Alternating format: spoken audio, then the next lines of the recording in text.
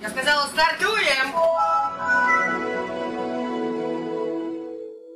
Здравствуйте, дорогие мои друзья. Уже не врубал камеру, э, время позднее, скоро на работу, но ролик очень важный. Если у вас у браузера есть такая проблема, в ютубчике кнопка play, пауза отсутствует, а это не только цент браузер, господа, это еще и другие хромоподобные браузеры могут чем-то подобным страдать, я нашел решение. Как нашел? Посоветовали подписчики сходить на форум э, цент браузера и скачать там бету. Бету не стал качать, решил порыться. Оказывается, активно там все это дело обсуждается. Как найти? Заходите, нажимаете форум, и мы здесь видим, что обсуждается стабильная версия, да, и вот раздел баги, э, YouTube Play. Кнопочка Play пауза, вот. Бутон это кнопочка, или батон, ну это мой русский, короче. Дальше что делаем? Э, переводим на русский язык, перевели, да, и начинаем читать, что ребята тут говорят.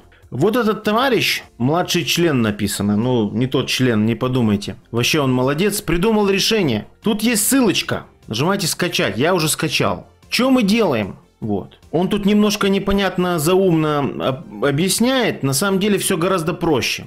Заходите сюда, э, заходите так, э, дополнение инструменты, расширение, вот. При этом у вас уже на рабочем столе папочка скачана. Я уже ее скачал. Та самая. Вот. Вот фикс. Э, дальше вам нужно режим разработчика включить. Загрузить, распаковать расширение. Рабочий стол выбираем. Э, само расширение, папочку. Все. Вот оно. YouTube Play Button Fix. Версия 1.0. Далее. Так, звук вырубим, чтобы видео не орало, да? Обновляем. Вуаля. Кнопочка на месте. Проблема решена. Э, дабы вам не ковыряться, я могу в облако закинуть данную фиксу и потом закинуть еще и на говносайт. Вот. Естественно, под роликом будет э, ссылка на этот фикс. Надеюсь, вам данный лайфхак или э, лайфхак, или как оно называется, хрен его знает, новомодно, или же мануал будет полезен так как в комментариях уже многие на эту тему общаются. Ждут, когда профиксят. Вот решение более быстрое. На этом я заканчиваю. Всем пока, спасибо за внимание. С вами был